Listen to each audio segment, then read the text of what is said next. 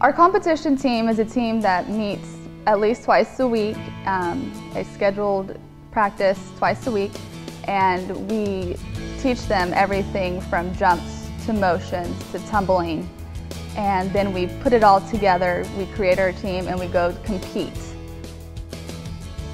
Competition mode is very strict. Those couple weeks before we go to our first competition is nothing but drilling the students. It's very time consuming, but it definitely pays off when you get to that competition, you see all the other teams, and you know that you're doing your job and making your girls look just as good.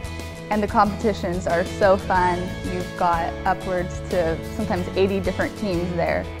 We've had different teams come up to us and ask our girls to play games, which is so fun because it's not like a rivalry. It's more about we're all cheerleaders and we all have the same passion and here we are doing what we love. At Expressions, it's really important to us that our cheerleading program is very family friendly and age appropriate for the girls and the teams. Our girls aren't going out on sidelines and cheering for a football team. We're strictly in the room um, working on what they do. Their stunting, their tumbling, their dance moves. For us, our big opportunity is taking those girls to competitions. That's our sideline. That's where we're confident, opposed to a lot of high school teams where they are cheering for footballs, football teams. That you do have professional teachers working with your students. We have mats, we have tumbling mats, we have mirrors, and we have great sound systems that we get to use for the girls.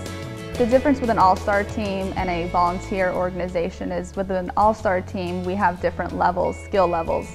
Um, they range from levels one through five, and we can take a child, even if they're young, but they have all their skills and they're confident in what they're doing. We can put them in a higher level and let them challenge themselves and you know, be able to grow and not be stuck in the same little spot that they've been in for the last two years just because that's the correct age group for them.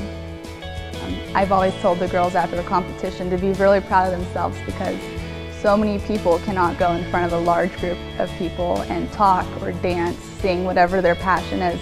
So many people can't do that, and I think it's really good for them to do that. And you can really see it in their faces. They're happy to be there. You watch them grow from the shy little girl that kind of just stands there and waits to be told what to do to someone who then takes authority and gets the team okay guys, you know, we have to start right now. This is what we got to do. And they take charge.